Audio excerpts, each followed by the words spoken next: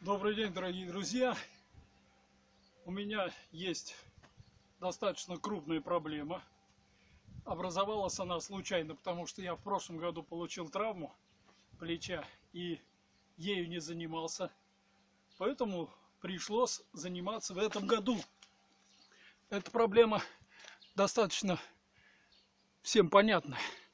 Вот такая куча дров. Причем дрова получилось так, что год пролежали. И поэтому колются очень сложно. И для того, чтобы их колоть, нужно применять некоторые хитрости. Вот сейчас пару таких хитростей я вам и покажу, чтобы вы тоже имели в виду, что можете это сделать. Так, ну сейчас я возьму достаточно крупное бревнышко, чтобы вам показать на его примере, как эту проблему надо решать. Во-первых, конечно, нужно твердое основание под то, что ты колешь. Здесь у меня хороший камень, тяжелый, который является этим основанием. Второе.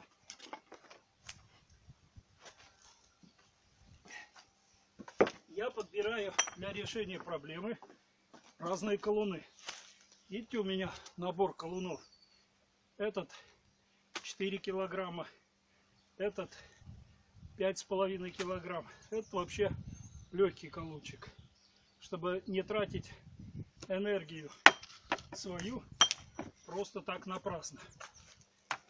Третья хитрость. Я вам ее уже показывал и рассказывал.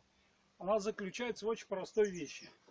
У меня есть набор покрышек который я использую для того, чтобы минимизировать себе затраты на наклоны, на собирание этих дров. Ну, обычно хватает одной покрышки.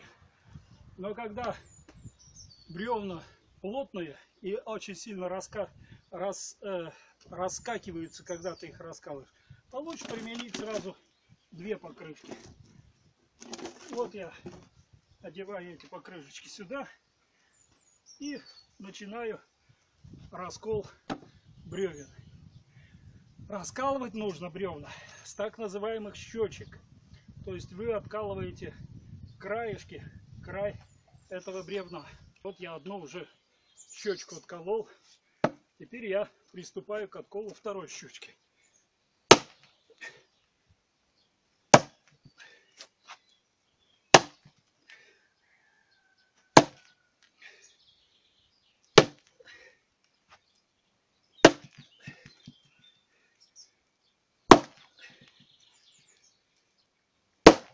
Вот у меня откололась вторая щечка.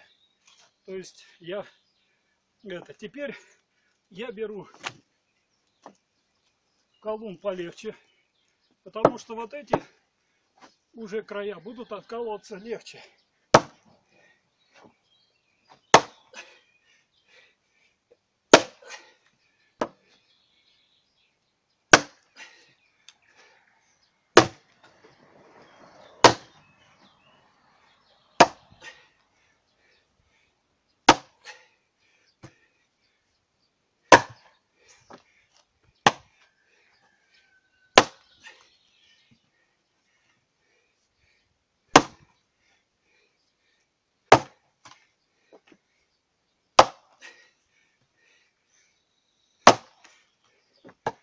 Вот, я все бревно расколол.